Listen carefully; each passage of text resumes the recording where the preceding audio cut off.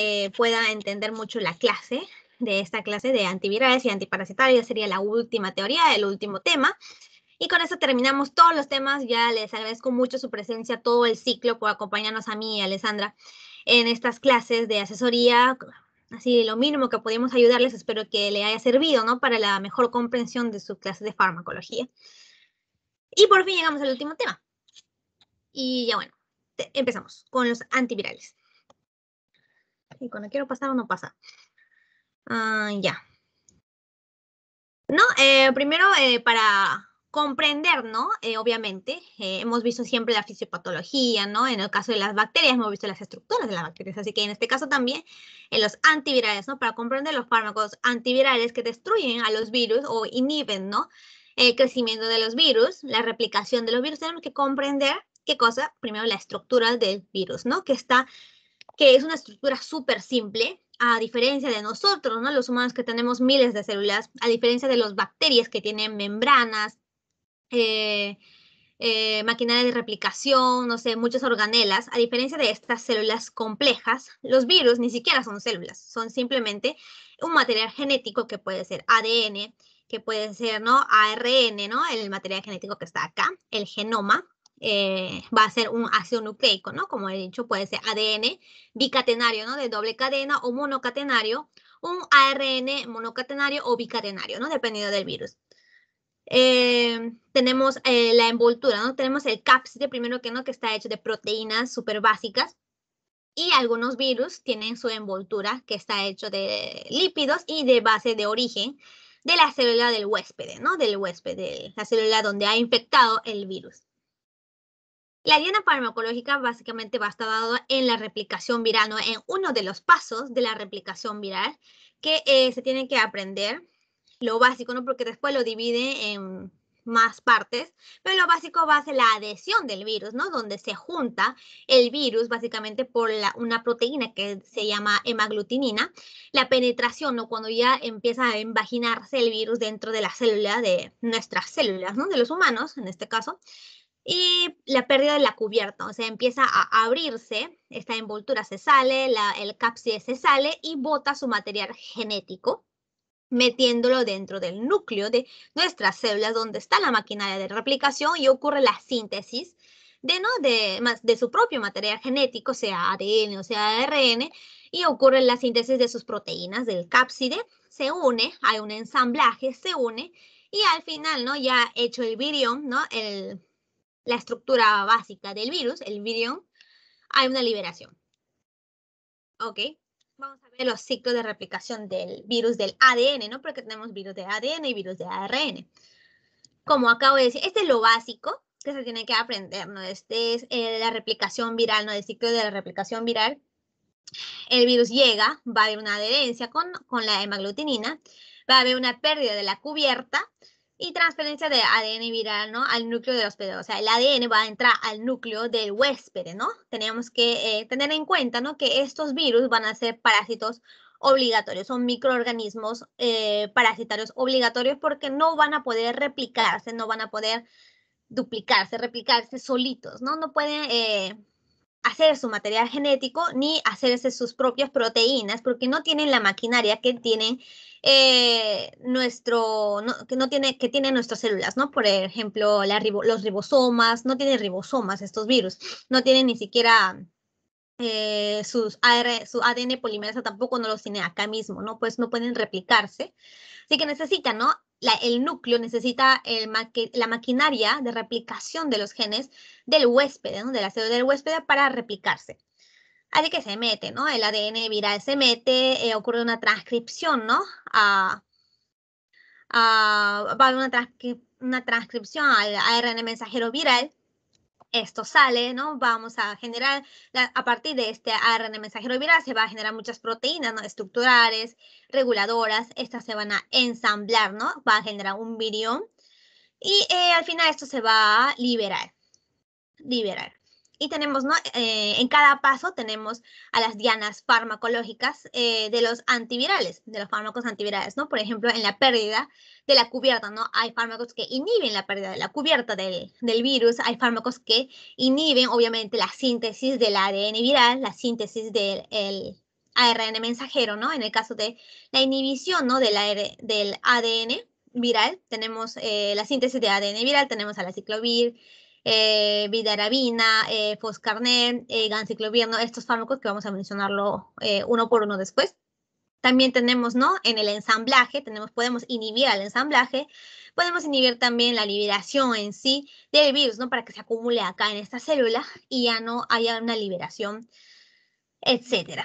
Eh, tenemos muchas dianas farmacológicas, vemos, vemos, ¿no? Al ciclo, los ciclos replicativos del virus del ARN, como les dije, no tenemos a la hemaglutinina, que es una proteína de la superficie del virus, donde eh, es una proteína que usa el virus para unirse ¿no? a las células del huésped, ocurre una endocitosis, ¿no? Eh, ingresa.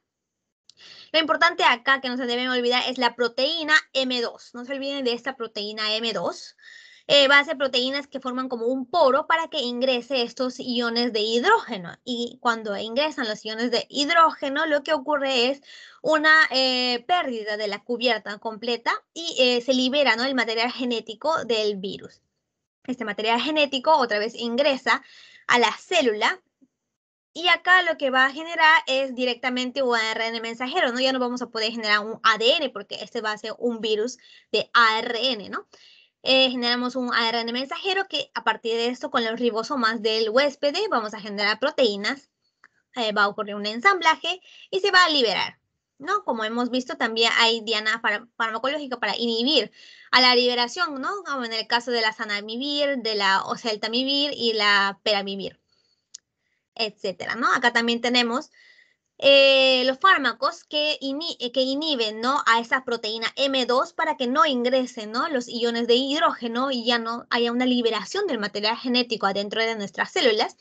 En este caso tenemos a, eh, la amantidina o la rimantadina, ¿no? que es amantadina o rimantadina, ¿no? que es, son fármacos que inhiben a la proteína M2. Traten de eh, tomar notas, ¿no? Eh, de estos puntos claves, ¿no? Como la hemaglutinina para no olvidarse, estos, eh, la proteína M2, ¿no? Así puntos, puntos. Y sí o sí, no olvidarse, ¿no? De estos ciclos replicativos que tiene el virus para poder replicarse, ¿no? Dentro de nuestras células del huésped. Ya, espero que sea por lo menos más claro que otras personas. ya. Eh, bueno, ¿no? y acá vamos a ir viendo, ¿no? Eh, enfatizando eh, algunos de los fármacos antivirales. Vamos a ver como ejemplo de los, de los antivirales contra los virus de material genético de ADN. Tenemos a los antiherpéticos, ¿no? A los, a los fármacos antiherpes virus. Tenemos a la estructura del herpesvirus, que su material genético es ADN, ¿no? Tenemos a los fármacos que inhiben a esos tipos de virus tenemos a fármacos que inhiben a virus que tienen material genético ARN, como en el caso del virus de la influenza, ¿no? De la influenza. Tenemos agentes anti-influenza. Eh, vemos. Acá que tiene una proteína hemaglutinina que acabamos de ver para qué funcionaba, para unirse con eh, la célula del huésped. Tenemos a la neuroaminidasa, que es otra proteína que sí o sí tienen que eh, aprenderse y ahorita mismo tomar nota, la neuroaminidasa es una proteína que ayuda a la liberación del eh, virus hacia afuera ¿no? de la célula. Acá. Estos son los que van a inhibir estos fármacos. La neuroaminidasa van a ser eh, proteína que va a tener el virus también, que va a eh, desprender la unión entre la hemaglutinina y la membrana celular del huésped, ¿ok? Porque esto a la hora de salir, también se va a unir, ¿no? La hemaglutinina se va a unir con la membrana y lo que va a hacer la neuroaminidasa, que es otra proteína del virus, es eh, romper ¿no? los enlaces de la hemaglutinina con la membrana eh, plasmática del huésped y así liberar al virus hacia el torrente sanguíneo o hacia el exterior para que eh, busque otra célula y empiece a replicar en esa célula. No, acuérdense de estas dos proteínas, sí o sí. Y en otros agentes antivirales tenemos a los, eh, a los retrovirales, por ejemplo, ¿no? Al tenofovir, que vamos a mencionarlo bastante hoy, tenemos como un virus retro, eh, retro, que es el virus del VIH, ¿no? Vemos su estructura. También va a tener su material genético ARN, ¿ok? Así que eh, algunos fármacos, ¿no? Que sirven para la influenza, o para el herpes, también va a servir algunos para estos retrovirus, ¿no? Que es el VIH, lo vamos a ver doble, así que se pueden acordar más con eso, mencionándolo así varias veces. Ya, creo que no me he olvidado nada. Espero. Ya, neuroamidasa y hemaglutinina, ¿no? Ya hemos hablado. Eh, ahora empezamos ya con los fármacos contra herpes virus, ¿no? Con los fármacos que va a, a inhibir, ¿no? al virus del herpes, a su replicación. Tenemos a la ciclovir, aciclovir y al valaciclovir, que van a ser los básicos, básicamente el aciclovir no fue el, primer fármaco que ha salido antiviral, uno de los primeros fármacos que ha salido, que ha salido, ¿no? Eso que dentro de los fármacos antivirales, que eh, a partir de este, de esta base que se hizo, se han creado varios, ¿no? Como el, el ganciclovir, como el penciclovir, ¿no? Estos fármacos antiherpes o otros fármacos, ¿no?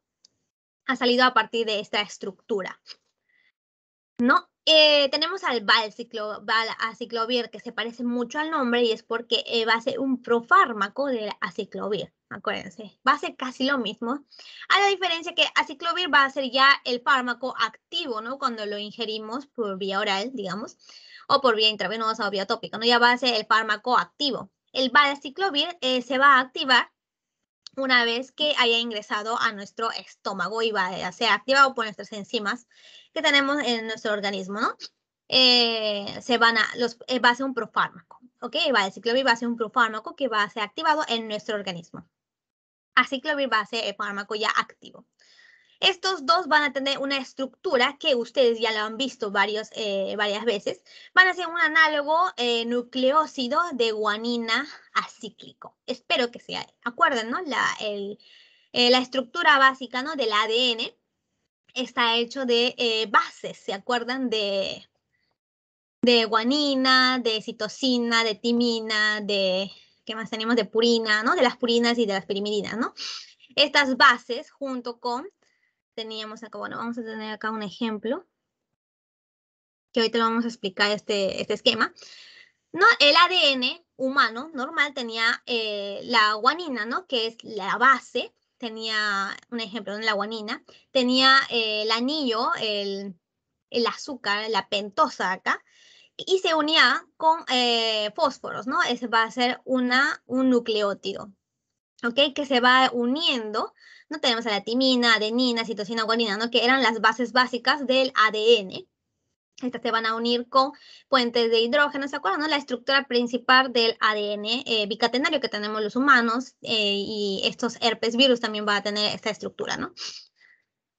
Ya, eh, recordando, ¿no? Eso, estos aciclovir lo que van a hacer es un análogo de estos nucleócidos, ¿no? Del nucleócido de, que tiene los virus o que tenemos los humanos. No se va, va, a ser, va a tener una estructura parecida, pero no igual a estas bases, a estos nucleócidos, ¿ok? Igual que el valaciclovir.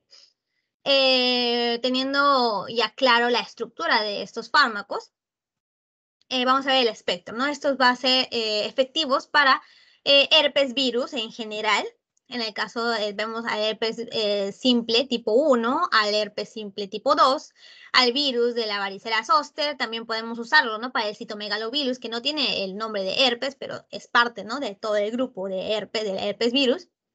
Va a ser efectivo para estos virus.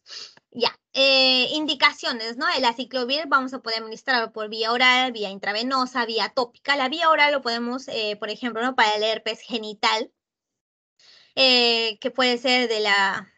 Mm, claro, el herpes genital cuando ocurrió ¿no? la primera crisis o puede ser eh, eh, un herpes genital recurrente.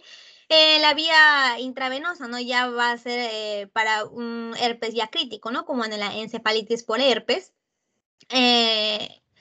la administración por vía tópica podemos usarlo, ¿no? Para el herpes labial para las heridas que salen de los herpes en los labios o también para los genitales, ¿no? Con cremita podemos eh, tratar esto. Y ya, Eva, la solo por vía oral, ¿ok? Eh, indicaciones ¿no? para herpes genital, herpes zóster, encefalitis herpética, varicela y eh, pero como profilaxis, ¿ok? Como efecto adverso podemos ver que no se ven muchos, ¿no? Son bien tolerados generalmente. Eh, está en una categoría C del embarazo, ¿no? O sea que no se ha registrado eh, un daño así eh, repetido, ¿no? En las embarazadas o daños en, en, el feto en sí, pero que todavía no se ha comprobado del todo. Está en la categoría C. Efectos adversos tenemos el rash, la cefalea, hematuria y neurotoxicidad.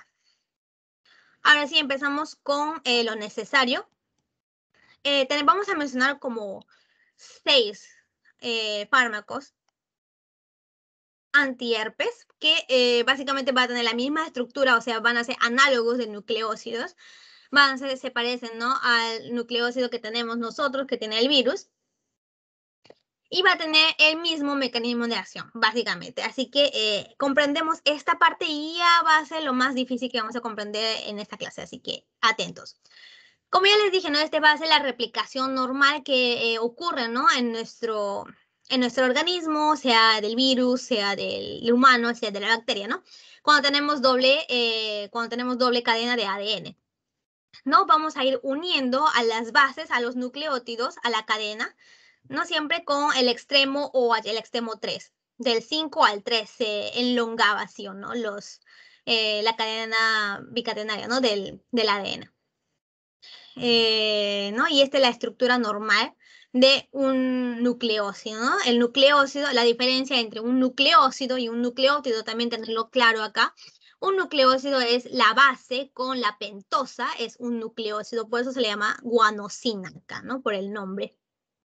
Un nucleótido es cuando está junto, ¿no? La, la base, que en el caso de este acá es la guanina, la pentosa y eh, más de un grupo fósforo, eh, fosfato, ¿ok? Ya a esta estructura le llamamos nucleótido, ¿no? En este caso, el trifosfato de guanosina, ya cuando hay tres eh, fosfatos unidos a la guanosina, ¿ok? Y gracias a la ADN polimerasa, ¿no? Eh, de mamífero, en este caso, eh, ese ADN polimerasa va a elongar la cadena de ADN uniendo, ¿no? el extremo al extremo 3, le unimos, ¿no? El extremo 5 y así elongamos la cadena del ADN. ¿no? Y acá tenemos los puentes de hidrógeno que hemos visto, ¿no? Que entre la guanina y la citosina eran tres puentes de hidrógeno, ¿se acuerdan, no? De bioquímica. Y la, entre la timina y la adenina eran dos puentes de hidrógeno, etc. ¿No? Eh, cuando le añadimos el fármaco eh, a la célula que está infectada por el herpes virus, ¿no? Añadimos el aciclovir, que como pueden ver, la estructura es un análogo de, de un nucleócido, ¿no? Que es la guanosina. Se parece mucho, ¿no? Tiene, se parece, ¿no? La base también se parece a la guanina. La diferencia es esta pentosa, ¿no? Acá ya, como dice el, el nombre, ¿no? Es un análogo nucleócido guanina acíclico, ¿no? O sea que ya no tiene una forma de anillo, como pueden ver acá, o sea, ya no tiene una pentosa eh, de forma de anillo, sino va a tener como que triangulito acá y el OH acá libre, ¿no? Este aciclovil, lo que va a ocurrir es que va a ser fosforilado primero por una, timidina, una tinidina eh, sinasa, que es una enzima sinasa que tiene el herpes, el herpes. Lo va a fosforilar y convertirlo en aciclovir monofosfato. Y después van eh, los, las sinasas, ¿no? Del mismo de la misma célula del huésped lo va a convertir en, trifosfato de aciclovir y esto lo va a reconocer ADN polimerasa del herpes virus, el ADN polimerasa del herpes virus, y va a incorporarlo a la cadena que estaba enlongándose de su ADN del virus, ¿no? Del ADN viral. ¿Qué ocurre?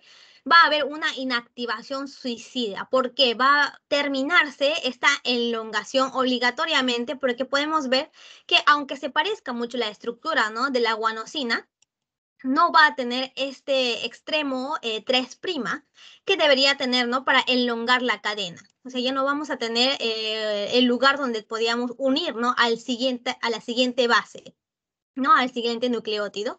Y bueno, RIP, pues ya no vamos a poder elongarnos. O sea, el aciclovir lo que va a hacer va, es un terminador de la cadena obligatoria, ¿no? Ya no va a haber una posición 3', ya no vamos a poder desarrollar la conexión, ¿no? Y se termina el tronco del ADN. Y aparte también este aciclovir eh, monofosfato va a inhibir completamente ¿no? al ADN polimerasa viral. Y lo interesante es que no va a inhibir al el ADN polimerasa de los mamíferos, ¿no? O sea, de nuestras células. A esto le llamamos inactivación suicida, a todo este mecanismo que hace el aciclovir. Y lo mismo hace el valciclovir, lo mismo hace los otros fármacos que vamos a mencionarlo eh, siguiente, ¿ok? Así que punto importante que tienen que eh, es esto, ¿no? Que el, la, timinid, la tinidina, la tinidina quinasa, va a fosforilar la, eh, la guanosina monofosfato de aciclovir, ¿ok? Primero que nada necesita. ¿no? Este, esta enzima del herpes. Y es por eso que este aciclovir no va a inactivar al ADN polimerasa de nuestras células sanas, porque primero que nada necesita una célula infectada que tenga el herpes virus para que tenga esta enzima del herpes virus y así fosforilar al aciclovir. ¿Ok? ¿Se entendió esa parte? Eh, vamos a ir avanzando. Eh, vamos a repetir básicamente lo mismo, ya que el mecanismo de acción es muy parecido en todos estos fármacos. Vamos a mencionar siguientemente, ¿no? El penciclovir, pamciclovir, ganciclovir, valganciclovir. Todos eh, van a ser análogos de nucleócido de guanosina acíclico. O sea, prácticamente su estructura se va a parecer mucho al aciclovir que acabamos de ver, ¿no? Que trata de asemejar, ¿no? A la base del ADN viral normal.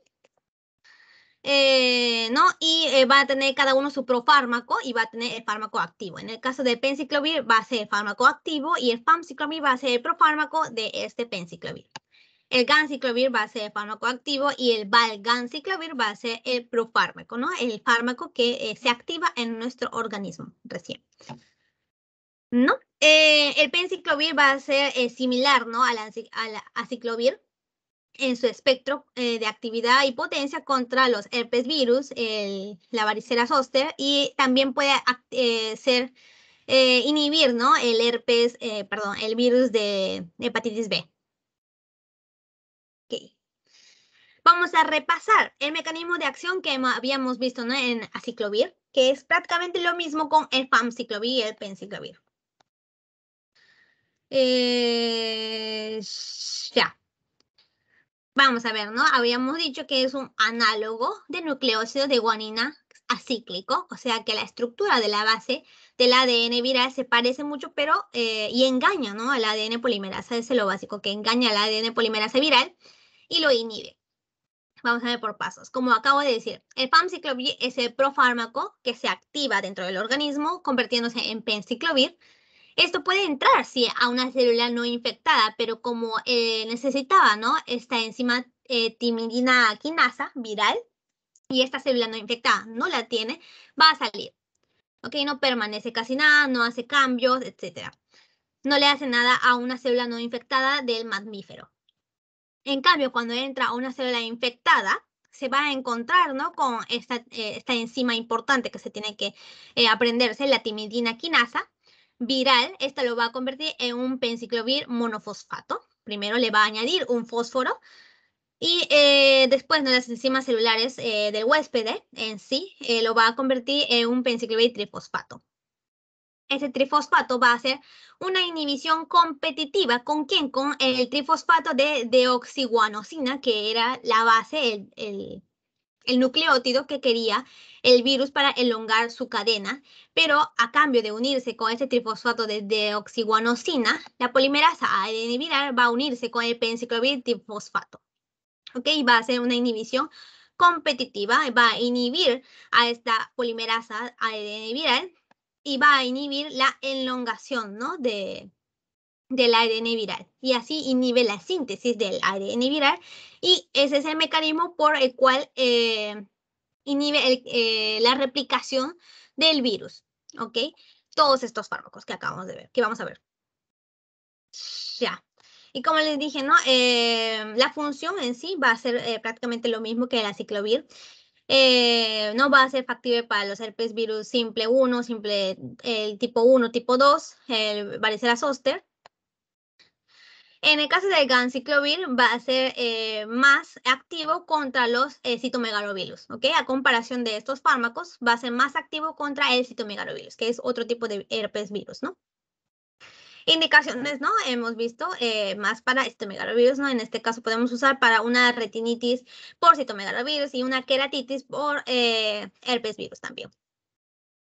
Como efecto adverso, eh, que, nos va, que vamos a tener que reducir ¿no? la dosis si es que lo encontramos, una mielosupresión, neutropenia, ¿no? que la disminución de neutrófilos, vamos a verlo en del 15 a 40% de los pacientes, en el sistema nervioso central podemos ver cefalea, cambios de comportamiento, convulsiones y coma, y va a estar igual ¿no? que la ciclovir en una categoría C del embarazo.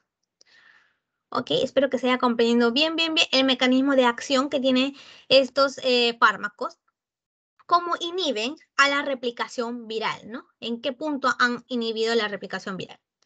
Si lo quieren categorizar, estos van a eh, ser básicamente inhibidores del ADN polimerasa del virus, ¿ok? Inhibidores del ADN polimerasa del virus de forma competitiva, ¿ok? Pueden anotar eso. Ya, el último que vamos a ver contra los herpes virus va a ser esta, el Foscarnet. Este ya no va a ser eh, la misma estructura que los demás, ¿no? Y es por eso que lo aislé un poco va a ser un análogo pirofosfato inorgánico, va a ser un pirofosfato, o sea que ya va a tener su estructura eh, de fosfato, ¿no? no necesitamos fosforilarlo dentro de la célula. Eh, también lo mismo, ¿no? Inhibe al ADN polimerasa del herpes virus. Y también eh, otro dato curioso, ¿no? Inhibe la transcriptasa inversa del VIH, la transcriptasa inversa, ¿no? y forma de presentación podemos administrar por vía oral, por vía intravenosa su espectro no ser inhibir a todos los herpes virus, al igual que los demás fármacos que hemos mencionado, y inhibir también la replicación del VIH. ¿Ok? Y como ya hemos visto, el mecanismo de acción va a ser lo mismo, es inhibir eh, al ADN polimerasa del herpes virus e ingresando directamente a la célula, ¿no? En este caso necesitamos fosforilarlo, ¿no? Con las sinasas. En cambio, como ya es un pirofosfato, ¿no? Que esa fosforilado directamente entra al núcleo, uniéndose al ADN polimerasa viral, lo va a inhibir. ¿No? Ese va a ser su mecanismo de acción. Inhibir al ADN polimerasa viral del herpes. Y la transcriptasa inversa del VIH. Indicaciones, vamos a poder usarlo para retinitis por citomegalovirus. Por citomegalovirus va a tener una misma eficacia con el ganciclovir, ¿no? Comparación, en comparación con el ganciclovir. Eh, efecto adverso, podemos ver nefrotoxicidad, eh, hipocalcemia sintomática, anomalías metabólicas, ¿no? Que son eh, relativamente frecuentes. Y eh, en el sistema nervioso central, cefalea, temblor, irritabilidad, convulsiones y alucinaciones. Ya. No sé por qué me quedo sin aire. Creo que porque mi nariz está tapada. ya. Eh, fármacos antiinfluenza. Vamos a ver, vamos a ver primero lo básico, ¿no? La amantadina y la rimantadina. Acá lo importante es que tenga en cuenta el espectro de estos fármacos, ¿no? La amantadina y la rimantadina, vamos a mencionarlo ya varias veces, pero su espectro es limitado. Va a ser eh, solo efecto en la A, en la influenza tipo A, no en otra influenza. La siguiente que vamos a ver, estos fármacos, estos tres fármacos, la sanamivir, la oseltamivir y la peramavir, peramivir, estas van a ser un espectro un poquito más amplio, ¿no? Va a estar contra los influencias tipo A y la influenza tipo B. ¿ok? El virus de la influenza tipo A y tipo B. Ya, esto sí tenerlo mucho en cuenta. Lo ha recalcado en el, estaba recalcado en el libro. Eh, no, esta ya no va a ser una estructura de un nucleócido, ¿no? Va a ser una amina tricíclica. Tenemos el amino acá, el grupo amina acá. Eh, tricíclica, mm, su estructura, ¿no? Tenerlo en cuenta. Eh, su forma de presentación va a ser por vía oral, indicaciones, ¿no? Para el tratamiento y prevención de la influenza A, ¿no? Estos fármacos. Eh, lastimosamente, ¿no? Estos fármacos ya se han administrado varias veces a los humanos, a nosotros, y ha creado su resistencia, ¿no? Estos virus, prácticamente todos los virus de la influenza han creado resistencia contra estos fármacos por ya eh, administrarlo muchas veces. Así que eh, acá está, ¿no? La vacunación va a ser siempre mucho más rentable y mucho más efectiva, ¿no? Para la prevención de estas enfermedades, ¿no? Como la influenza. Y es por eso que se recomienda, ¿no? Siempre eh, ponerse la vacuna de la influenza cada año. Bueno, no sé si en Perú sea cada año, pero en Japón es cada año, porque es eh, muy endémico. Acá en invierno todos se contagian de influenza. Bueno, no todos, ¿no? Si te cuidas, no te contagias, ¿no? Y si te vacunas. Pero a veces, aunque te vacunas, también te contagias de la influenza. Y, y ya bueno.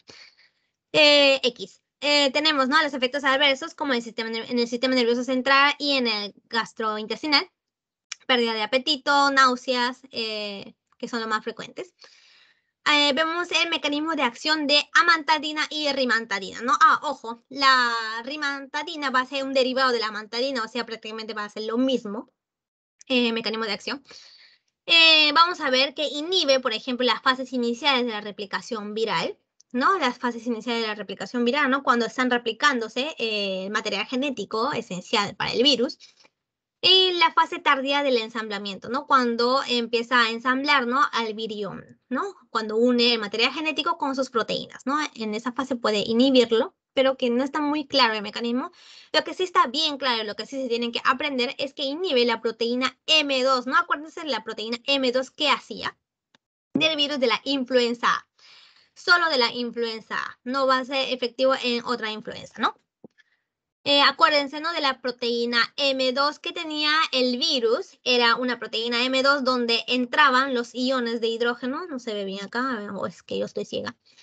Eh, no, el virus de la influenza se invagina, se sube endocitosis. Eh, y acá tenemos a las, estos rojitos, ¿no? Son las proteínas M2 y eh, van a eh, generar como que van a ayudar a la entrada de estos iones de hidrógeno. Y cuando entran los iones de hidrógeno acá adentro haciendo canal, es, em, la envoltura se va a descubrir, se dice, como que se va a abrir y va a botar el material genético, la, el virus de la influenza, ¿no?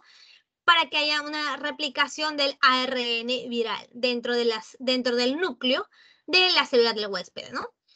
Eh, en el caso de la amantadina, la amantadina lo que va a hacer es eh, bloquear ¿no? a estas proteínas M2 y así evitar que entre estos hidrógenos y así evitar ¿no? que se abra la envoltura y libere su eh, material genético, así, o sea, se va a quedar acá encerrado gracias a la amantadina o a la rimantadina, ¿no? Se va a quedar encerrado, ¿no? El material genético y ya no va a haber una replicación viral y así inhibimos la replicación viral. Y bueno, ese es el mecanismo de acción. Súper fácil, ¿sí o no?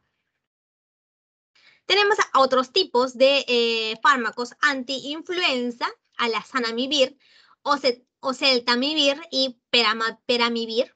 Estos tres también van a ser otro tipo de eh, mecanismo de acción. A diferencia de los demás, ¿no? Este va a ser un espectro ya más amplio, va a inhibir ¿no? a la influenza A y B. Estas van a ser un análogo del estado de transición de ácido ciálico. Vamos a ver por qué. Va a ser un análogo de un ácido ciálico. Eh, ¿no? El sanamivir eh, podemos darlo por vía inhalatorio, por vía intravenosa, eh, puede causar broncoespasmo, ¿no? Eh, en la vía inhalatoria. El, oseltal, el oseltamivir vamos a administrar por vía oral y eh, puede causar náusea, dispepsia y vómitos en este caso. Em, ya. El aspecto no, no se olvide, A y B, en el caso de estos fármacos, traten, de, traten todo lo posible de acordarse de los nombres de los fármacos, puede que les venga. El mecanismo de acción van a inhibir a la neuroaminidasa impide, eh, que impide la salida de los e impide la salida de los virus. Ni yo me entiendo lo que he escrito. ya, ¿cómo es eso? ¿No se acuerdan de la neuroaminidasa, no? Que era el que cortaba los enlaces con la hemaglutinina y eh, no la hemaglutinina, ¿no? Que es esto, que este verdecito y eh, la unión que tiene con la membrana plasmática, ¿no? De la célula del huésped y eh, hace la liberación normalmente, ¿no? La neuroaminidasa eh, ayuda a la liberación del virus eh, completamente, ¿no? Hacia afuera de la célula del huésped. Ok, acá tenemos los inhibidores, ¿no? De la neuroaminidasa, estas van a inhibir, ¿no? Que vaya, vaya a cortarse esta unión, que se pegue, ¿no?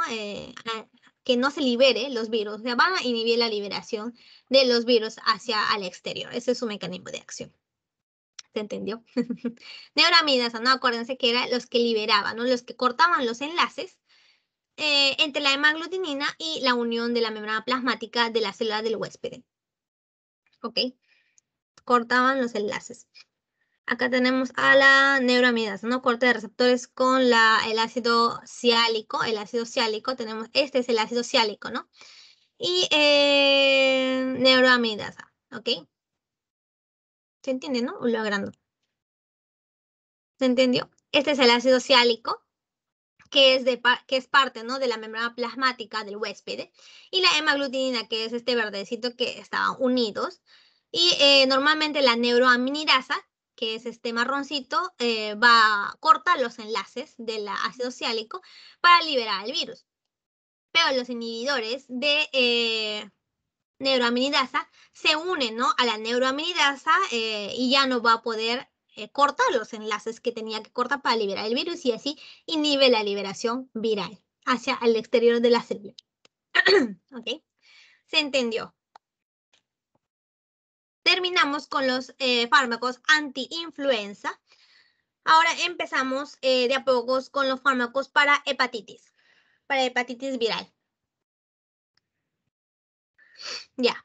Eh, acordemos de los básicos, ¿no? Del hepatitis, del virus de la hepatitis. Vamos a mencionar ahora dos virus.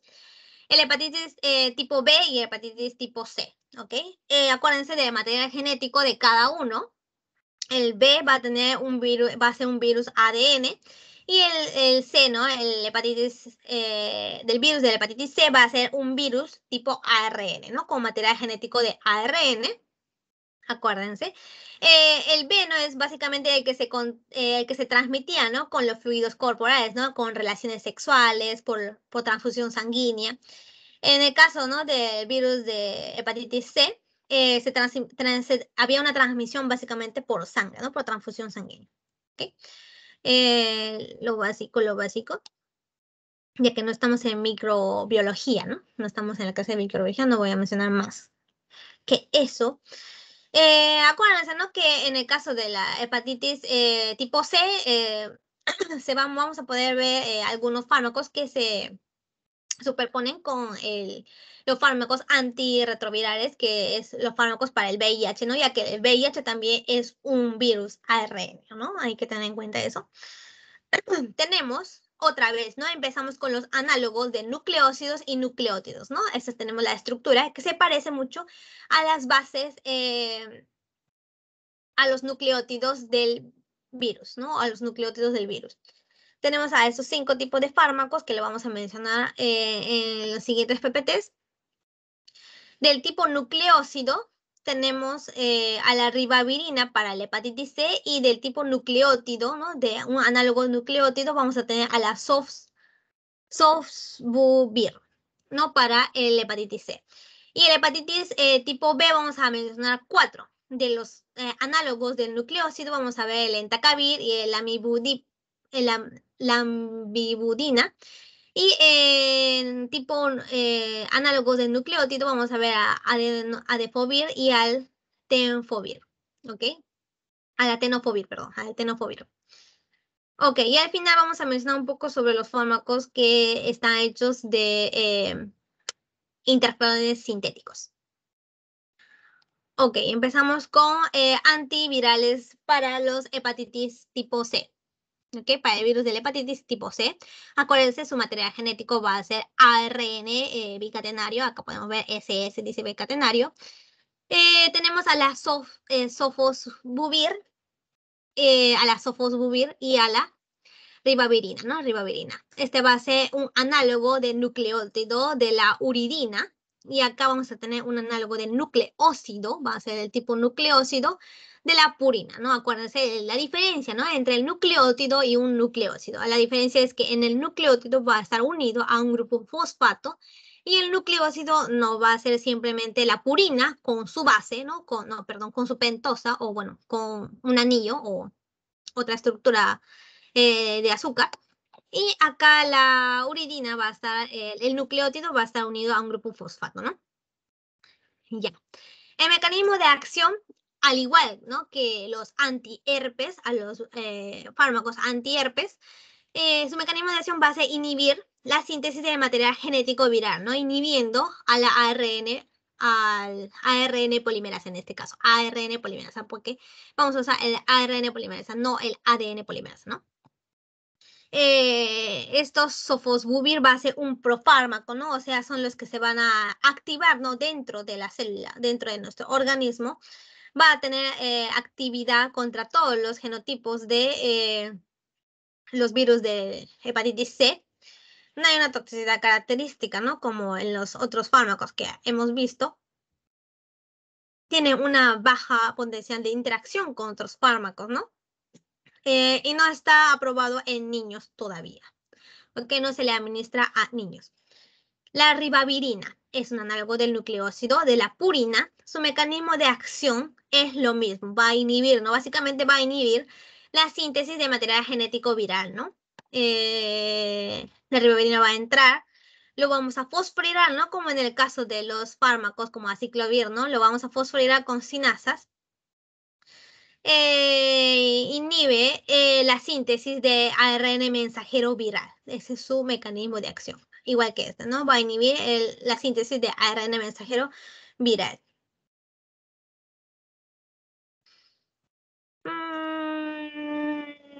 Ya. Vamos a ver que inhibe la replicación de una amplia gama de virus de ARN y de ADN también. Vamos a administrarlo por vía oral, vía intravenosa, vía inhalatoria, ¿no? Donde tenemos que tener más cuidado con los efectos adversos. Eh, vamos a administrarlo para infección crónica de, del virus de la hepatitis C, ¿ok? Eh, como en el caso de la cirrosis, ¿no? Cuando el paciente tiene cirrosis. Podemos usarlo para tratamiento de cirrosis. Eh, tratamiento de hepatitis C con niños de 5 años eh, en adelante, ¿no? Por, con mayores de 5 años. Como efecto adverso tenemos la anemia hemolítica, va a tener una categoría de embarazo X, o sea, para nada se tiene que administrar, ¿no? A las embarazadas. Y porque se ve, ¿no? Una fetotoxicidad. vamos a tener otros efectos adversos como la fatiga, tos, erupción cutánea, ¿ok? Mm, a ver qué podemos venir acá. Mm, ya. Otra vez, ¿no? La ribavirina, trifosfato, ¿no? Porque acá vamos de, eh, igual que la ciclovir, ¿no? Cuando entra a la célula eh, y entra al núcleo, vamos a, eh, a, las sinasas, va a fosforilar, ¿no? Va a generar monofosfato de ribavirina, difosfato de ribavirina y al final el trifosfato de, ribavirina, ¿no? Es el que va a hacer efecto directamente inhibiendo, ¿no?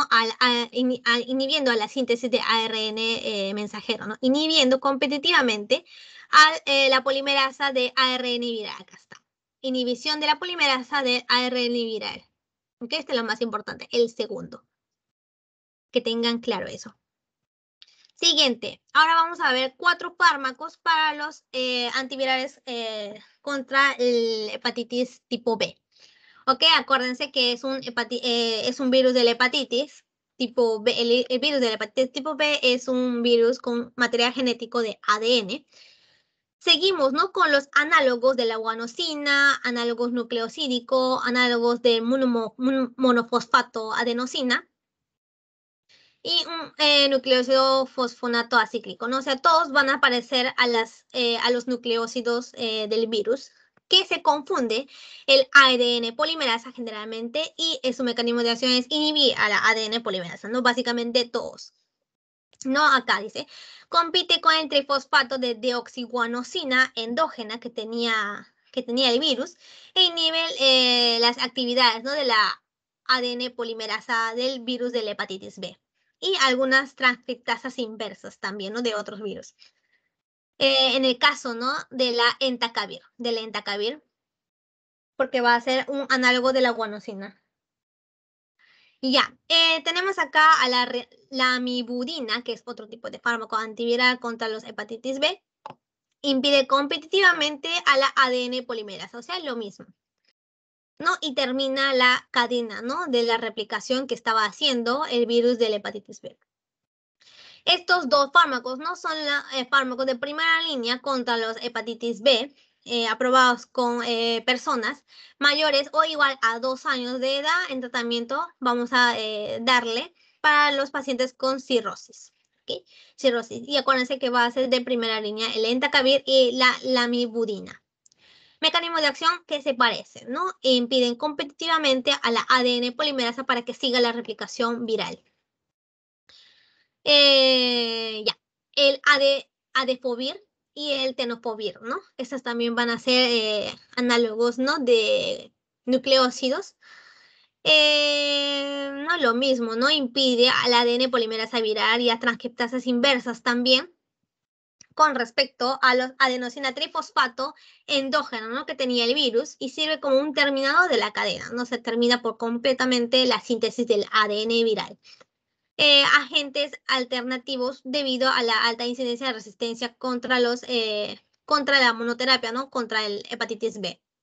O sea, este va a ser como complemento. Cuando hay una resistencia, ¿no? Del virus a la entacavir o a la, la le damos adefovir o tenofovir, tenofovir, ¿ok?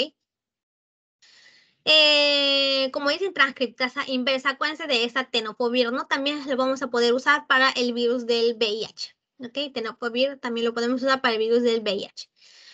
Eh, como efecto adverso tenemos a la cuando hay una interrupción abrupta, ¿no? Eh, puede causar brotes de hepatitis. Eh, en el caso de la adenofobia puede causar astenia, deterioro de la función renal.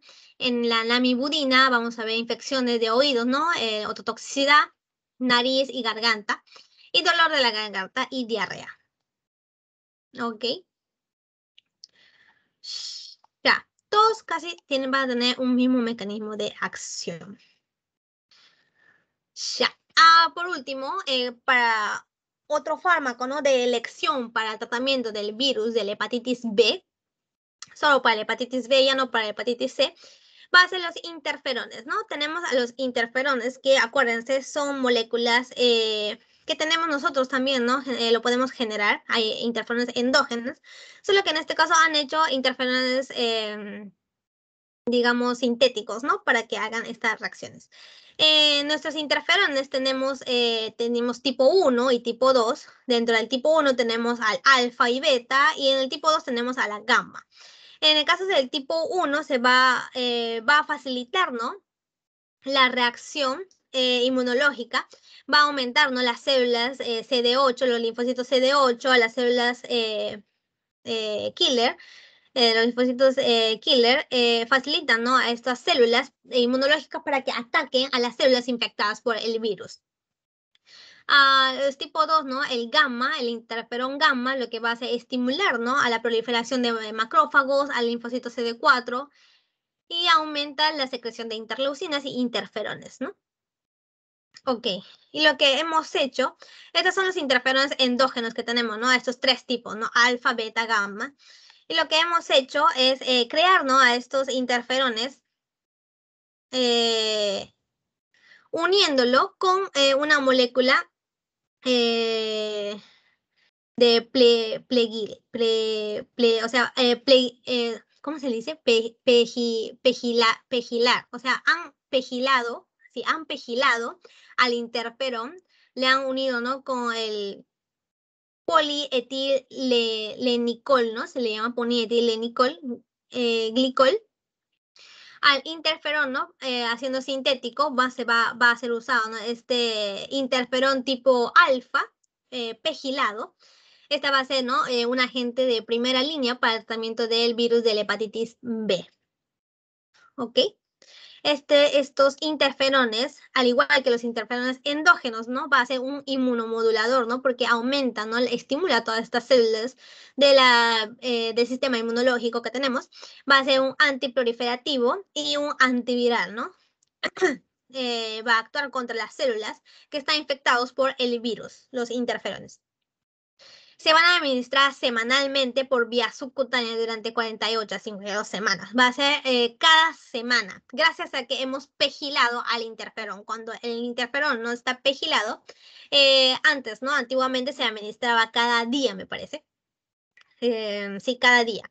Pero conjuntando, ¿no? Con este polímero, con este polímero, ya su administración, ¿no? Ya va a disminuido, ahora va, ahora hablo, es suficiente, ¿no? Con cada semana. Reacciones adversas se puede ver eh, más del 40% de los pacientes, eh, fatiga, astenia, pirexia, ¿no? Que es eh, el aumento de la fiebre, la fiebre, mialgias y dolor de la cabeza. se requiere un monitoreo hematológico frecuente y está contraindicado en las enfermedades hepáticas avanzadas o en el embarazo, ¿ok? No se le administra para el embarazo. Por último, la última, el último PPT, empezamos con los antirretrovirales, que no es nada del otro mundo. Estos antirretrovirales, ¿no? Eh, son los virus que van a hacer una, van a tener su transcriptasa inversa, ¿no? Tenemos a la transcriptasa inversa, ¿en dónde está? Que, eh, acá está, la transcriptasa inversa, ¿no? Que a partir de estos, eh, el material genético, ¿no? Acuérdense, estos virus del VIH tienen su material genético de ARN, y con la transcriptasa inversa vamos a generar ADN primero. Este ADN, eh, vamos, ¿no? La cadena de ADN, esto ya lo vamos a incluir con la integrasa adentro de la célula para que el material genético, ¿no? Del núcleo del huésped eh, genere eh, a partir de esto ARN mensajero, ¿no? Estos virus van a tener su transcriptasa. Esa es la diferencia con los demás virus, pero nada del otro mundo, ¿sí o no, chicos? no la forma de eh, los fármacos eh, antirretrovirales, básicamente eh, van a tener esta forma de inhibición, ¿no? Inhibición de inhibidores nucleócidos, ¿no? De análogos de nucleócidos que inhiben esa transcriptasa inversa, ya hemos visto, ¿no? Como el tenofovir. Inhiben a estas integrasas, ¿no? Estas integrasas son estos enzimas que llevan, ¿no? A estas ADN que ha sido eh, generado con las transcriptasas inversas del virus, lo va a meter hacia dentro de la célula.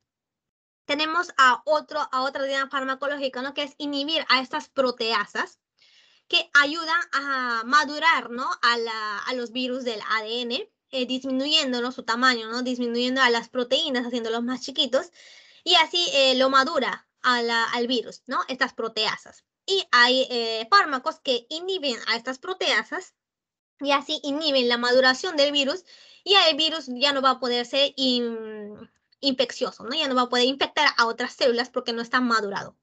No está maduro. ya eso. Eh, ya.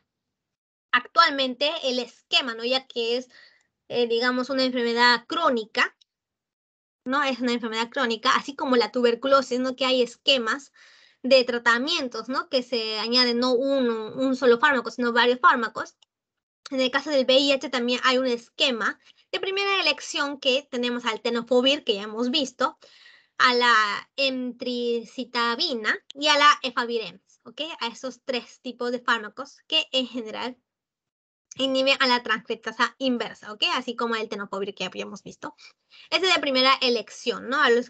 para tratarle a los pacientes que están infectados por el virus del VIH.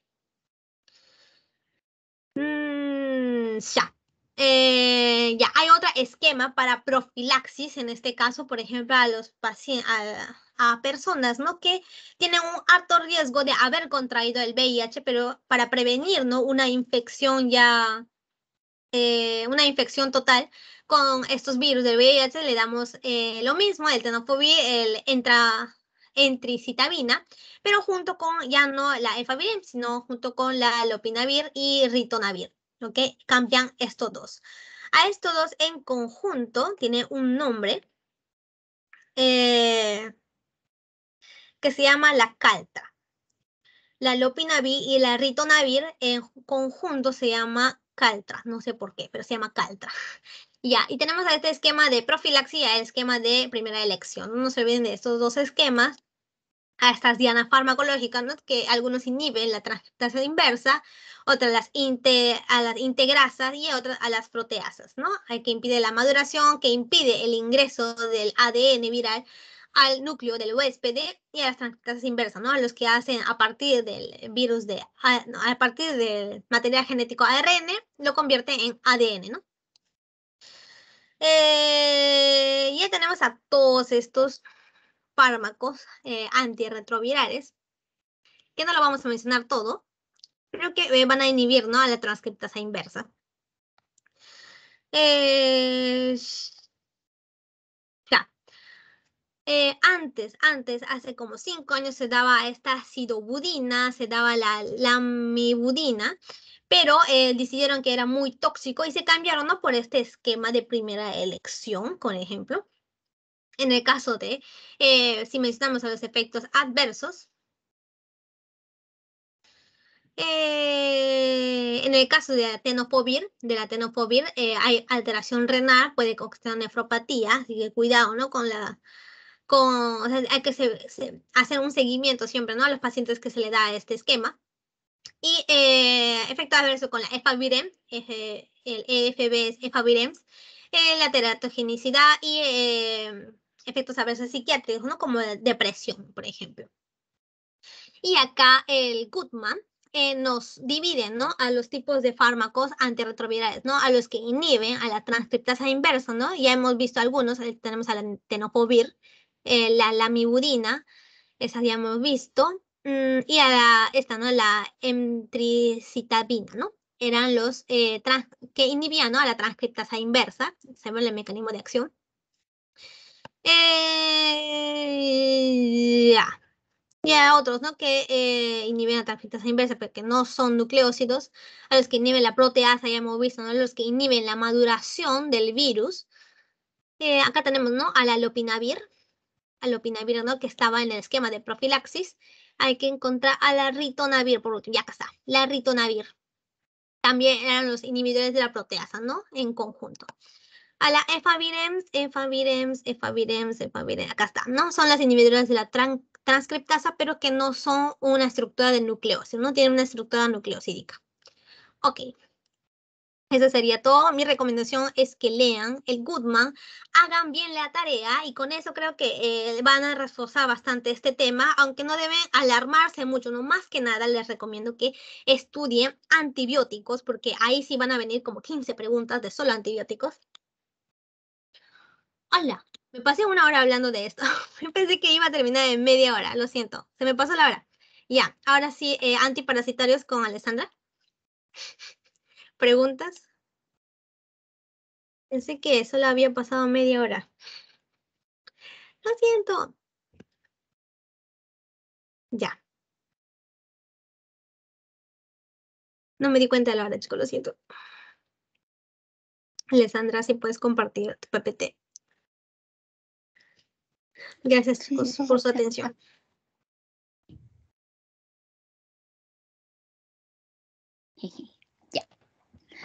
Ahora sí, vamos a empezar. Ya, ya empezamos con lo que es antivirales. Sí, eh, también traté de ver las preguntas y no son, no hay demasiadas, pero sí acuérdense lo más básico. Y ahora vamos a hablar de antiparasitarios. Bueno, acá se tienen, vamos a hablar dos tipos de antiparasitarios. Primero los que son este, antiamebianos y luego eh, los que son para la malaria, antimaláricos. Eh, para nosotros enfocar o ver qué tipo de fármaco eh, tenemos que recetar o dar, eh, tenemos que acordarnos, lamentablemente, el ciclo de todo el ciclo de infección. Entonces, bueno, es que ustedes han llevado parásito, entonces va a ser más, más fácil. ya, y entonces en cada fase, por ejemplo, en cada fase antes de que ingrese al, al intestino, antes de que ingrese al hígado, antes de que ingrese, por ejemplo, en lo que es la malaria, antes de que ingrese a los eritrocitos, este, van a haber ciertos fármacos, ¿no? Fármacos tanto eh, intracelulares como extracelulares. Y vamos a como que enfocarnos según las, preguntas. Les voy a decir los más, este, lo que, lo que más, lo que más viene, ¿no? Lo más importante. Eh, ya. A ver. Entonces vamos a empezar con los eh, anti protozoarios. Sabemos que las amebas son protozoarios, ¿no? Entonces, y no solo las amebas, ¿no? Tenemos las, eh, las amebas eh, como la entamoeba histolítica que va a producir lo que es las diarreas. Eh, también tenemos este, lo que son las yardiasis, o sea, las yardias intestinales, y las tricomoniasis, ¿no? como la trichomona vaginalis. Entonces, estos fármacos eh, o antiamebianos que les voy a mencionar se utilizan también para todos estos tratamientos. Lo más importante que nos, vamos a enfocar en lo que es la entamoeba histolítica, acuérdense, entamoeba histolítica que causa la amibiasis. Entonces, esta entamoeba histolítica, ¿qué es lo que causa? Nos va a causar colitis amebiana y un absceso hepático amebiano. Entonces, ¿qué es la colitis amebiana? ¿Qué es el absceso hepático amebiano? Obviamente el absceso hepático es cuando ya hay una infestación del, del, hígado, ¿no? Pero ¿qué es la eh, colitis amebiana? La colitis amebiana es, eh, es un tipo de diarrea, pero es un tipo, este, un tipo de diarrea bastante grave ya mm, por, eh, causa, este, puede causar muerte, en, más que todo en menores de 5 años. Entonces, eh, es alarmante, es alarmante este, y tener cuidado con si es que eh, se presenta ¿no? una infección por amebiasis o por entamoeba isolítica. Entonces, aparte de lo que es la rehidratación, reposición de volumen, supresión de la diarrea, estas causas parasitarias al infectar lo que es este, bueno, al infectarnos básicamente van a provocar lo que son diarreas anemizantes, puede llegar a una, anemia eh, bastante grave, o si no, puede causar una diarrea sanguinolenta, ¿no? Entonces, eh, es por ello que eh, para la detección de nosotros de estos antimicrobianos usamos lo que es la microscopía, la serología, la detección de antígenos de heces, pero me parece que para la entamueva, entamueva histolítica, lo que más se usa es ELISA, el ELISA y PCR, ¿ya? Entonces, eh, es como una, una prueba eh, confirmatoria, por así decirlo. ¿Por qué? Porque en la microscopía ustedes saben que eh, el, el, personal tiene que estar capacitado, ¿no? Ya. Entonces, en la imagen de arriba ven, ¿no? Las, las fases, por así decirlo. Acá vemos a un quiste de entamueva histolítica eh, ese es un quiste. Acá ya vemos a un trofozoito que tiene eritrocitos ingeridos en su interior. este es ya lo que se denomina ¿no? la colitis eh, amebiana con bastantes úlceras y eso a nivel histológico, una úlcera causada por una amebiasis. Ya, entonces nos vamos a acordar eh, lo que es su ciclo de vida de la entamoeba isolítica, porque nos vamos a fijar en eso. Ya, entonces, ¿qué pasa? ¿Cómo, sucede en la entamoeba histolítica? Básicamente el paciente ingiere los quistes, ingiere los quistes, tanto infección mano-boca.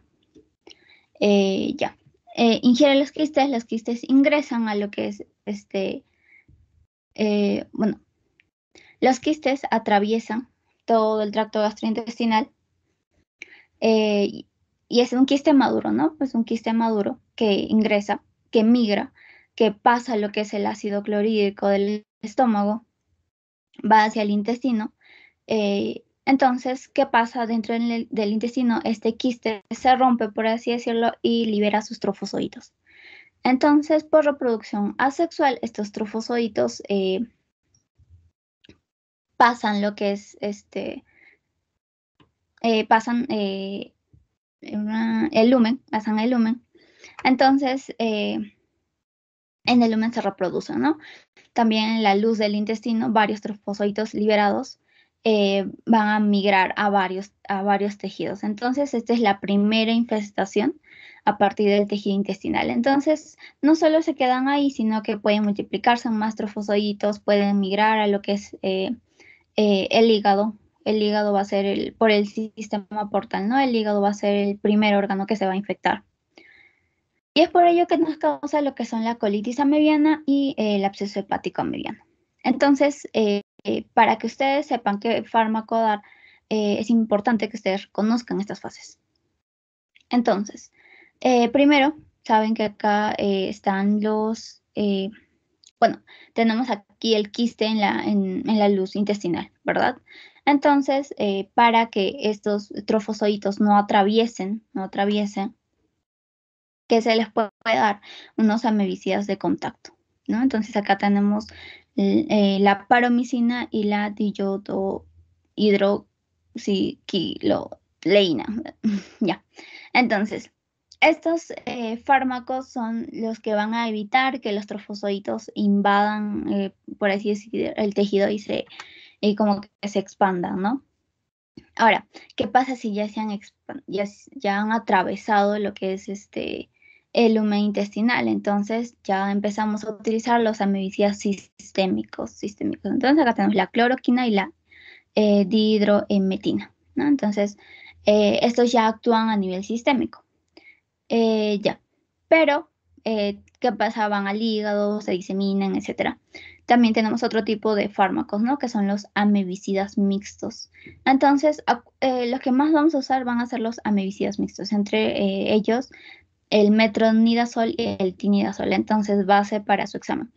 ¿Qué se usa para este para la, la isolítica, el metronidazol es un amebicida mixto. ¿Por qué? Porque actúa ya a nivel sistémico. Si es mixto, actúa a nivel este, tanto luminal y sistema sistémico. Ahora, eh, pero no solo eso, el metronidazol también eh, va, va a ayudarnos contra lo que es la Yardia lamblia, las trichomonas vaginales y otros cocos, ¿no? Cocos anaerobios o bacilos gram negativos.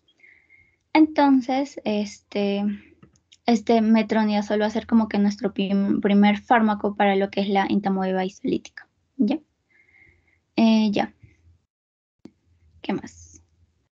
Eh, eh, metronidazol o tinidazol. Entonces, básicamente, ¿qué hace el metronidazol? El metronidazol es un nitroimidazol, que básicamente eh, las amebas van a, poseer, es van a poseer una proteína transportadora de electrones que se parece a lo que es la ferrodoxina. Entonces, eh, el grupo nitro de lo, de lo que conforma el metronidazol acepta electrones, se activa y eh, va a formar lo que son compuestos eh, citotóxicos que se van a unir a las proteínas y al ADN. Y así eh, esta unión va a causar lo que es la eh, muerte de los trofosoditos de entamoeba isolítica. Acuérdense, metronidazol, entamoeba isolítica. Metronidazol, entamoeba isolítica. Entonces, el metronidazol tiene que reducirse para recién activarse y formar estos compuestos este, citotóxicos y así este, matar al trofozoito, trofozoito, ¿ya? Mm, entonces, ese es como que un mecanismo de acción un poco más, este, eh, más, más químico, por así decirlo. A ver, vamos a empezar. Ya. Entonces, eh, eh, tenemos una enzima, lo que es la flamin tiroredoxina reductasa, que vendría a ser el bueno, abreviado, ¿no? El TRXR, TRXR, y este se va a encontrar dentro de la entamoeba isolítica. Entonces, esta enzima va a producir como que una, eh, va a introducir electrones del grupo eh, nitro del metronidazol. Entonces, este, esta enzima es solita, como que adquiere lo que es las, las, este, los electrones del grupo nitro del metronidazol. Entonces, eh, se forman metabolitos y ¿qué va a causar? Va a causar eh, lo que es el daño, ¿no? va a oxidar eh, o va a dañar el ADN y va a formar este el TXER, el TXER. Entonces, que va a formar otras proteínas y ya forma finalmente lo que es la muerte celular, ¿no? Entonces, es importante porque van a haber amebas o bueno, parásitos que van a ser resistentes a lo que es el metronidazol, ¿no? Entonces esta resistencia básicamente radica en lo que son en la, formación de estas enzimas. Mm, ya, eh, eso es importante, así lo básico, ¿no? ¿no? viene mucho lo que es mecanismo de acción. Ah, ya, entonces eh, dentro de los nitroimidazoles tenemos al metronidazol. Eh, a ver, farmacocinética. Se administra vía oral a veces este, netromidazol que es, no, no, se, no se da como un tratamiento solo, a, pesar que es eh, un amebicida mixto, sino que a veces se le suele dar como un amebicida de contacto, o sea, los que actúan en, en la parte luminal del intestino antes de que ingrese el trofozoito a lo que es este, eh, las capas más profundas del intestino. ¿ya? Ahora, eh, ¿qué otros fármacos, acuérdense, qué otros fármacos se les da? Eh, estos amebicidas mixtos, por ejemplo, metronidazol, ¿qué otro fármaco de contacto o luminal se le puede dar? Acordamos que los luminales son las paromicinas y este, ese diyodo hidroxiquinoleína. ¿Ya? Ya. Eh, ya. Entonces, eh, al combinar estos dos fármacos, tanto mixtos como de contacto, ya nuestro porcentaje de curación o de terapia ya aumenta, ¿no? En aproximadamente un 90%. Se absorbe por, eh, bueno, un 80% se absorbe por lo que es todo el tracto gastrointestinal.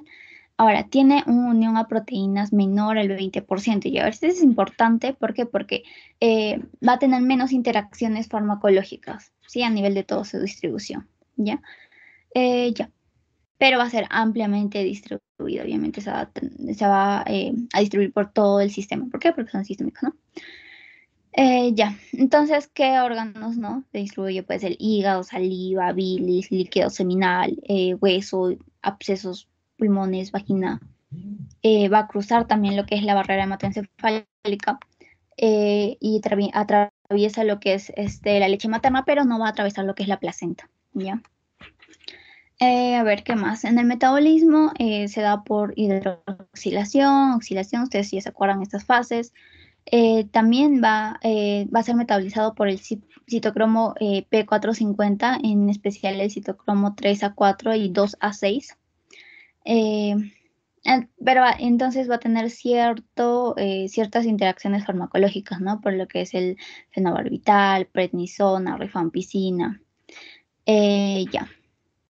Se elimina, se elimina en, de 25 a 75 horas, pero esto en recién porque en pacientes con insuficiencia hepática se va a eliminar entre 8 eh, horas, ¿no? Y va a ser o incluso más prolongado. Se va a excretar por lo que es la orina y las heces. Ahora, eh, ya, ya les hablé de interacción. Ahora, hay algo importante con lo que es el metronidazol. Eh, el metronidazol está relacionado con lo que es el metabolismo del alcohol. ¿No? Entonces, ¿qué hace el metronidazol? Va a inhibir lo que es el aldehído deshidrogenasa. Entonces, nosotros acordemos, el, alcohol se, eh, se convierte, o bueno, con, el alcohol deshidrogenasa eh, va a convertirse en acetaldehído y este acetaldehído eh, debe convertirse finalmente en ácido acético, ¿no? Y también en agua. y ahora, esta conversión del ácido acético y agua es por el aldehído deshidrogenasa. Ahora, ¿qué pasa? Si nosotros inhibimos o estamos tomando metronidazol, y eh, el metronidazol inhibe lo que es el aldehído deshidrogenasa, va a haber más acetaldehído y este acetaldehído va a formar, si hay más acetaldehído que forma toxicidad, entonces se va a formar un síndrome acetaldehído. Entonces, ¿qué, ¿de qué se caracteriza? el paciente se va a sentir hipotenso, va a haber un enrojecimiento en todo su cuerpo, va a haber dolor de cabeza, va a haber vómitos, va a haber dolor de pecho. Entonces, es por ello que hay que tener cuidado si el paciente este, eh, toma alcohol y junto metronidazol, ¿no? Puede llegar este, a este síndrome acetaldehído. Entonces, eh, lo importante, aparte de que el metronidazol se usa para lo que es la entamoeba istolítica, eh, tiene unas interacciones como por ejemplo el disulfirán, la warfarina. ya. Entonces, eh, y lo más importante, inhibe lo que es el aldehído deshidrogenasa, ¿no? Esa vino en una pregunta. Inhibe el aldehído deshidrogenasa, ya. Ahora, dentro de los efectos adversos del metronidazol, eh, básicamente van a ser eh, dolor de cabeza, náuseas, boca seca, va a haber un sabor metálico, y, básicamente es todo gastrointestinal, ¿no? Va a haber vómitos, diarreas o malestar este, estomacal o abdominal. Ya. Y eso con lo que es este metronidazol. ¿Alguna pregunta? Espero que no. Ya, entonces acuérdense. Tenemos tres tipos, de fármacos, amebicidas de contacto, amebicidas sistémicos y amebicidas mixtos. Para la entamoeba eh, histolítica, nosotros usamos metronidazol como primer fármaco. puede ser con amebicida de contacto y lo importante que puede inhibir el aldehído deshidrogenasa. Ya. Ahora vamos a hablar de los eh, antimaláricos de la malaria. Ustedes se acuerdan lo que hablamos, lo que es, eh, bueno, no hablamos, en parásitos, ¿no? El Plasmodium falciparum, Plasmodium vivax. Y entonces, eh, básicamente, eh, los antimaláricos, o bueno, el paludismo, que es lo mismo, ¿no? Que malaria, el parásito va a ser el plasmodium, ¿no? Entonces, y tenemos cinco especies de plasmodium, ahorita les digo.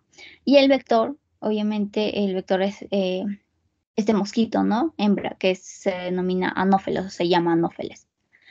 Entonces, eh, ¿qué nos va a causar la picadura de este mosquito anófeles? Nos va a causar eh, una infección malárica o malaria o paludismo.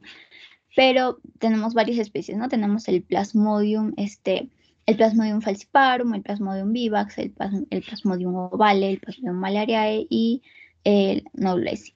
Entonces, ¿cuál es lo importante? Ustedes se acuerdan que al nosotros, eh, bueno, al este anófeles, al infectarnos, va a haber una fase eh, fuera de los eritrocitos, una fase dentro de los eritrocitos y una fase reproductora sexual, ¿verdad?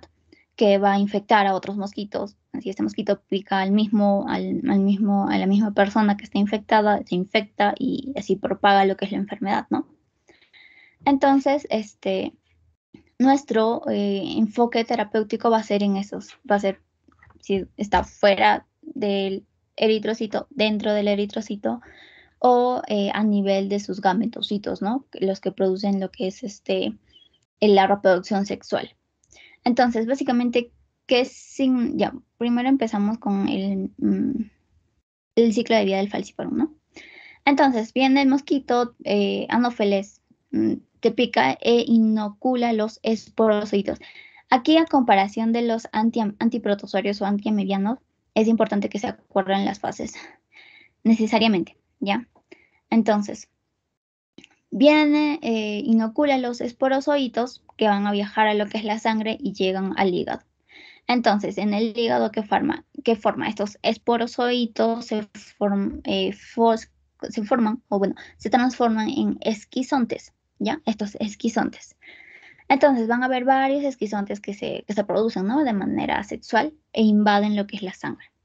Entonces, van a liberar, estos esquizontes van a liberar a los merozoitos y encuentran lo que son las, estos merosocitos encuentran a los glóbulos rojos y van a ingresar dentro de ellos. Entonces aquí ya empezamos lo que es estos merosocitos que ingresan e infectan a nuestros eritrocitos, empiezan lo que es su fase de reproducción asexual, ¿no? Entonces, si estos merosocitos dentro de los eh, eritrocitos ya se denominan trofozoitos, ¿no? Entonces estos trofozoitos empiezan a, eh, empiezan a multiplicarse, empiezan a eh, a dividirse, tanto así que el, glóbulo rojo ya no los puede aguantar y explotan,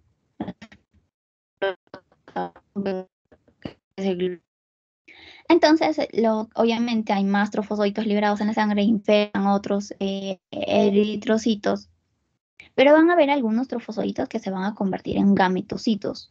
Y estos gametocitos, gametocitos, son células sexuales, ¿no?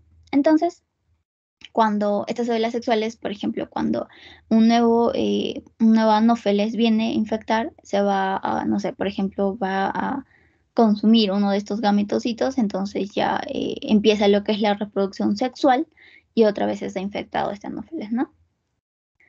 Ya, eh, ¿qué más? Entonces, acuérdense, los esporozoitos forman esquizontes que van a formar, esporozoitos forman esquizontes que van a formar lo que son los merozoitos en el interior de, de estos merozoitos van a infectar lo que son los glóbulos rojos, ¿no? Eh, ahora, ahora los merozoitos se van a llamar lo que son hipnozoitos, acuérdense, hipnozoitos, hipnozoitos. Estos hipnozoitos se pueden quedar de forma latente en el hígado, puede decir, se quedan ahí durante bastante tiempo hasta que puedan causar una reinfección, ¿verdad? Entonces, eh, vamos viendo, ¿no? Lo que es una fase extra, extra eritrocitaria, una fase eritrocitaria, eh, en donde los, eritro, donde los merozoitos invaden los, los glóbulos rojos, se transforman a trofozoitos y producen más trofozoitos, van a producir más merozoitos que van a este, invadir más glóbulos rojos. Entonces, nuestra terapia farmacológica se basa en eso, ya se basa en si es, eh, eh, es eh, extra eritrocitario o intraeritrocitario. Ya. ya, ya. Ya, entonces vamos a ver las fases también. Ahora, ahorita una pequeña intro de la fase este, extra, extra fuera del eritrocito, es nuestro primer fármaco, que es la primaquina. Entonces, la primaquina, acuérdense, extra eritrocitaria.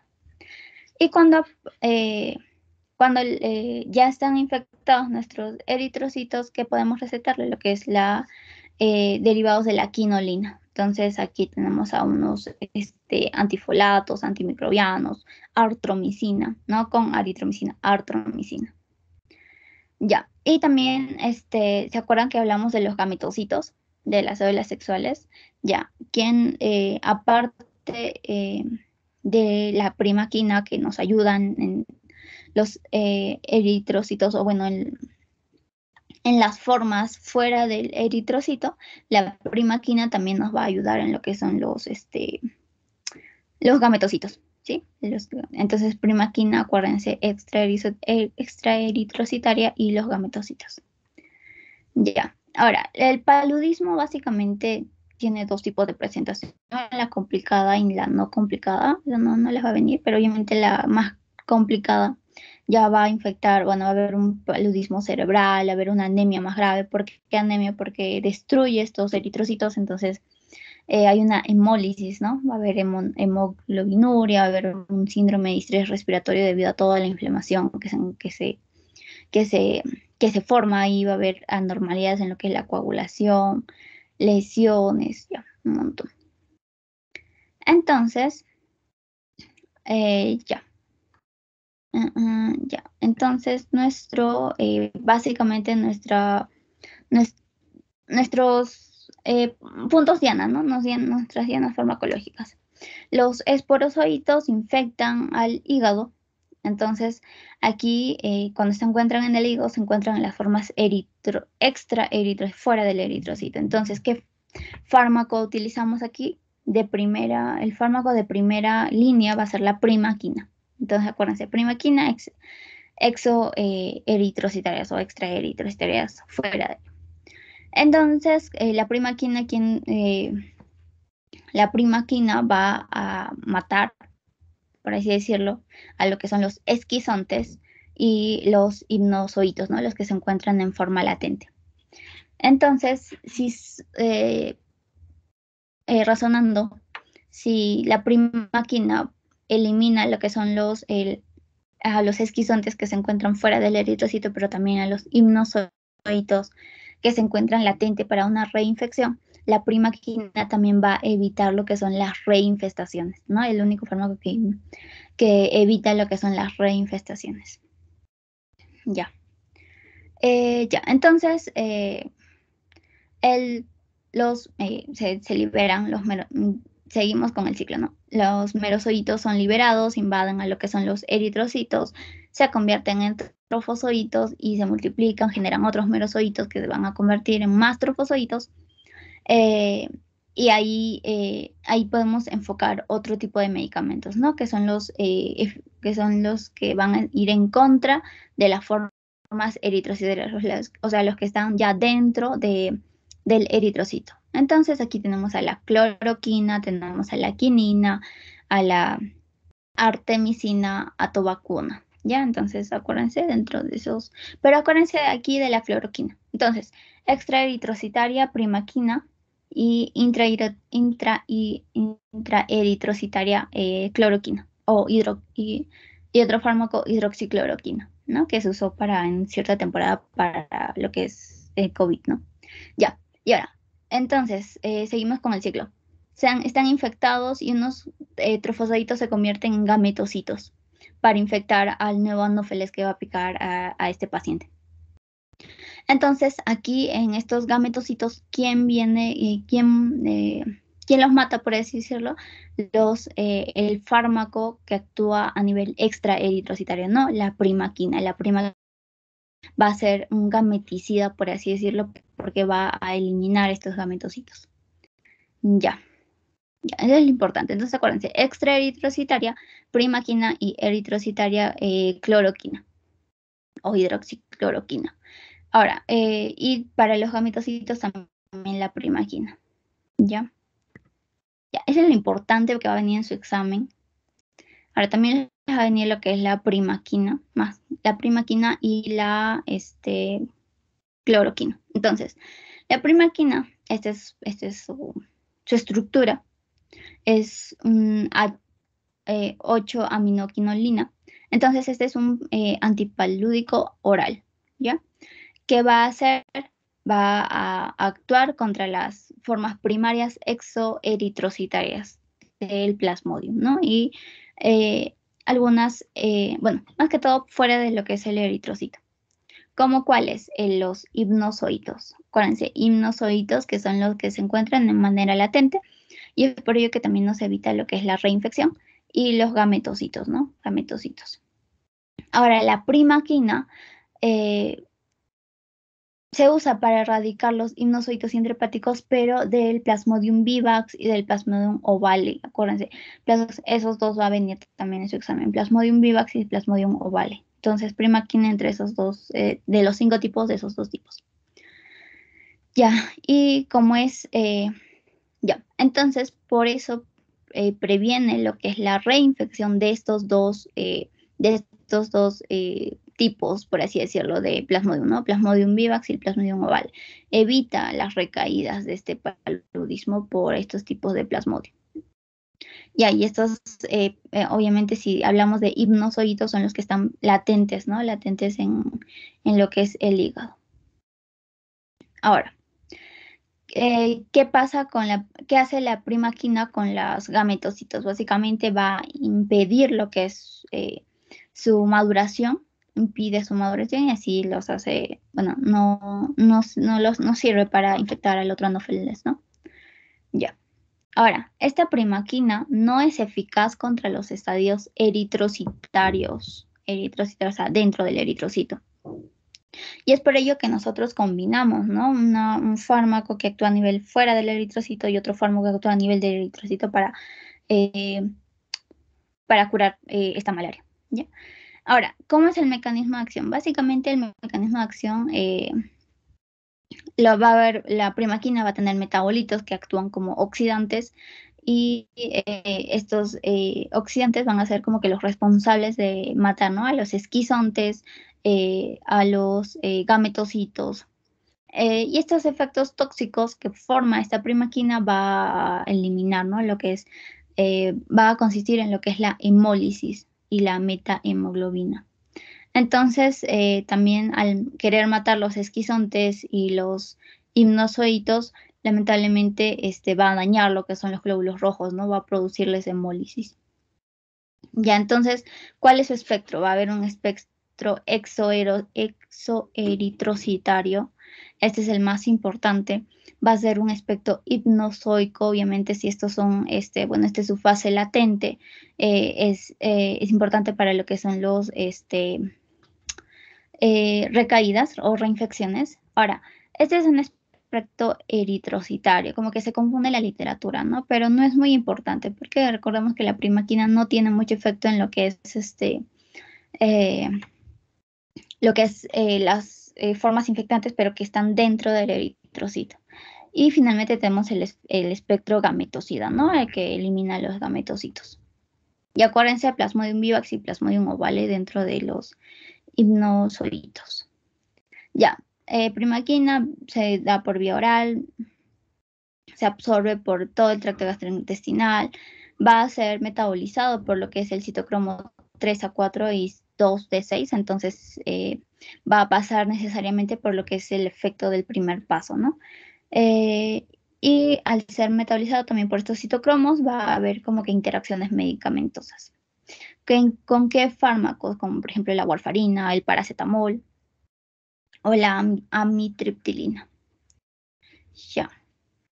Y dentro de sus efectos adversos básicamente va a ser este a nivel del sistema nervioso central, cefaleas, mareos, trastornos del equilibrio, Van a haber desórdenes eh, gastrointestinales como náuseas, vómitos, diarrea y otros más, ¿no? Va a haber disminuir el, apetito, va a haber agitación, prurito, rash, este, hiperpotasemia o ansiedad.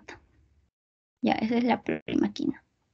Ahora vamos a hablar de lo que es la cloroquina. Este actúa a nivel eh, intraeritrocitario, ¿no? Intraeritrocitario. Entonces, ¿qué pasa? Tenemos aquí un glóbulo rojo que está infectado y vemos que hay este, una bomba de protón ATPasa que, ¿qué hace este botón? Este protón ATPasa va como que a ingresar hidrogeniones. Entonces, la cloroquina y la hidroxicloroquina son bases débiles, son fármacos que son bases débiles, entonces se van a difundir fácilmente por lo que es esta membrana. Entonces, eh, la hemoglobina, básicamente, normalmente la hemoglobina dentro del glóbulo rojo tiene que, eh, va, llega, va por un camino, ¿no? Que es la eh, ferriprotoporfirina 9 del grupo M. Entonces, ¿qué pasa con la cloroquina que entra? Va a bloquear el paso de la ferriprotoporfirina y va a producir lo que es la toxicidad celular. Entonces va a haber un daño ahí, una muerte del parásito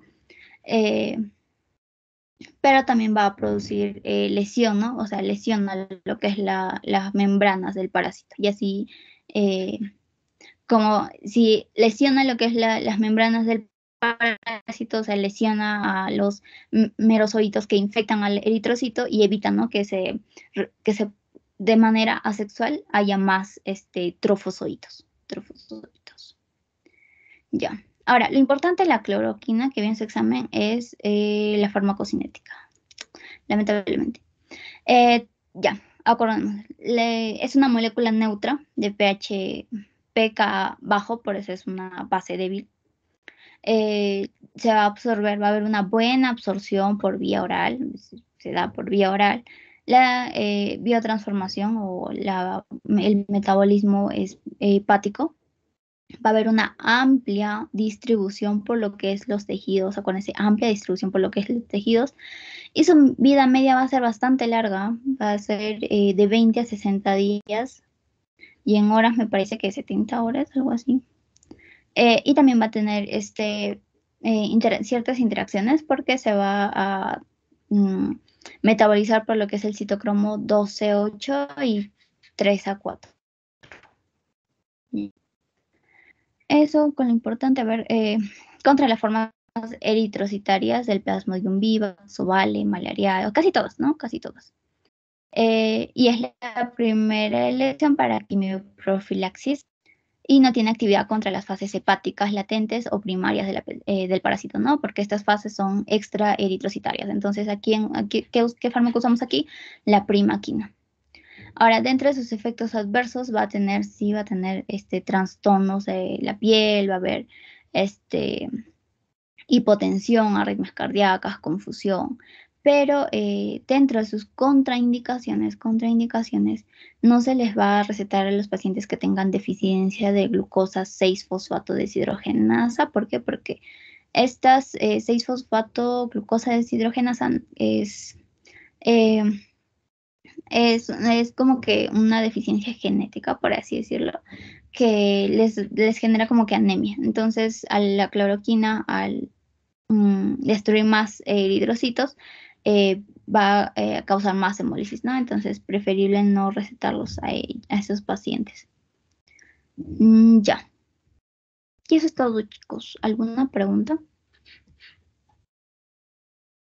Si no, pasamos al pasito. Acuérdense, bueno, todo lo que les dije a venir en el examen. Bueno, espero que venga, espero. Pero les dije la más importante. Ya, si no hay preguntas, pasamos al